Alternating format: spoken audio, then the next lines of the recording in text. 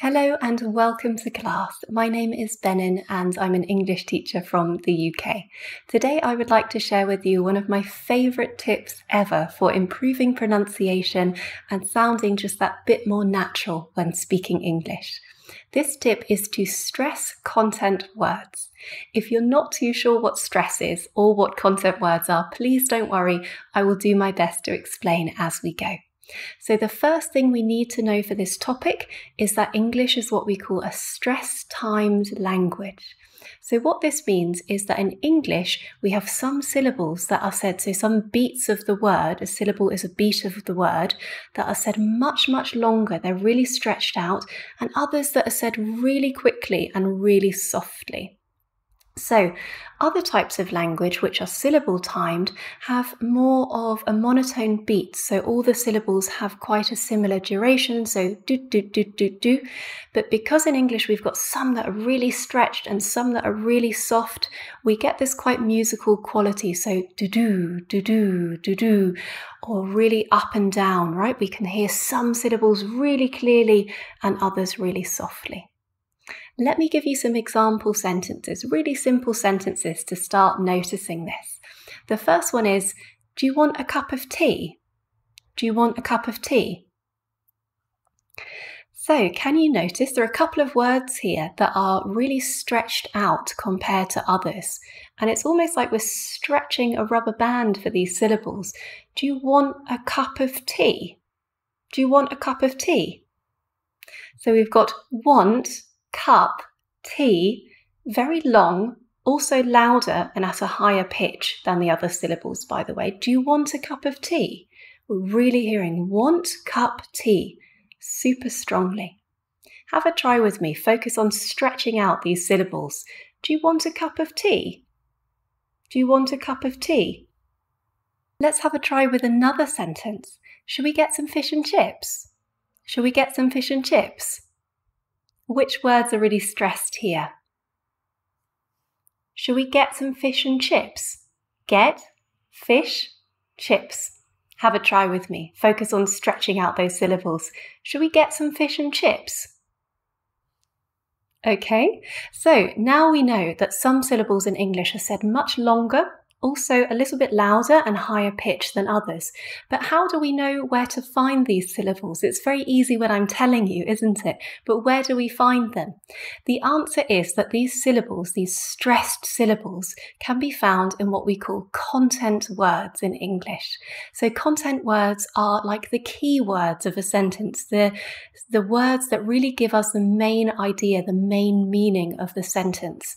So they tend to be things like nouns, adjectives, adverbs, main verbs, so things like run, go, uh, try, not auxiliary verbs like could, can, must, etc. We'll also find them in negatives and question words. So these real keywords, we will not find stress syllables in things like prepositions, pronouns, auxiliary verbs, um, this kind of thing. Okay, so it's in these real keywords. And if the content word is one syllable, like want, try, um, book, the whole word gets stressed, okay, because it's just one syllable. However, if the stress, if the content word is more than one syllable, for example, take the noun mountain, for example, there will just be the one stress syllable. So if you listen to me, mountain, mountain. We're not stressing the whole word, but just the stressed syllable in that content word. Okay, so we can see this clearly. Let's have another example sentence. I really want to go on holiday to Iceland. I really want to go on holiday to Iceland.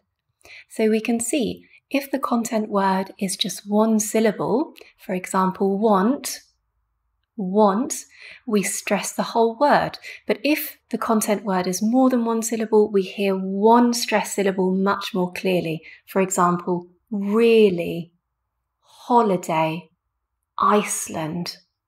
So if we have the whole sentence, I really want to go on holiday to Iceland. Have a try with me. I really want to go on holiday to Iceland. Okay, so now that we know where to find these stressed syllables, I'd like you to have some practice of your own. I'm going to put some sentences on the screen and I'd like you to read them, pause the video, and think about which syllables would be stressed. So, which syllables would be said longer, at a higher pitch, and louder than the others. Then I will tell you the answers, okay? And we'll talk about why those syllables are stressed. The first sentence, so read it, pause the video, take your time. And now I'll read it. Shall we go to the park? Shall we go to the park? So we're stressing here go because it's a main verb and park because it's a noun. Try repeating with me. Shall we go to the park? Okay. Second sentence, read it, pause the video, see what you think. Now I'll read it. I always wanted to try to run a marathon. I always wanted to try to run a marathon. So here, always is an adverb, so we stress it, and the stress syllable is all. Always. Wanted is a main verb, so we stress it and we stress the stress syllable want. Try and run are main verbs and they're one syllable, so the whole thing is stressed. And finally, ma in marathon because it's a noun is stressed. Listen and repeat with me. I always wanted to try to run a marathon. Next sentence, read, pause, see what you think. Now I'll read, he doesn't know a lot about geography. He doesn't know a lot about geography. So we're stressing the doesn't the does there because it's a negative. We're stressing no because it's a main verb, lot because it's a noun, and geography is also a noun, but we stress just the stress syllable jo. Geography. Listen and repeat with me. He doesn't know a lot about geography. He doesn't know a lot about geography. Number four, have a look at the sentence, read, think. Now I'll read, where do you think you left it? Where do you think you left it? So we're stressing where because it's a question word, think because it's a main verb, and left because it's a main verb also. And the last sentence, have a look, pause the video. Now I'll read Going to Italy would be an amazing trip. Going to Italy would be an amazing trip. So, going, main verb, go is the stressed syllable, Italy is a noun, it is the stressed syllable. Amazing is an adjective, may is the stressed syllable, and trip is a noun, so it gets stressed. Again, listen and repeat with me. Going to Italy would be an amazing trip. So, then, in summary, what have we learned today? First of all, that English is a very musical language, so we get some syllables that are really stressed and others that are said really softly and quickly. If you can find a way to incorporate this musicality into your own speaking, you will sound a lot, lot more natural. And how can you do this? Well, you can really stretch out, lengthen, and say louder and longer the stressed syllables within content words. So, content words being those words, key words that give us the main idea of the sentence in English. Things like nouns, main verbs, adjectives, adverbs, question words, and negatives.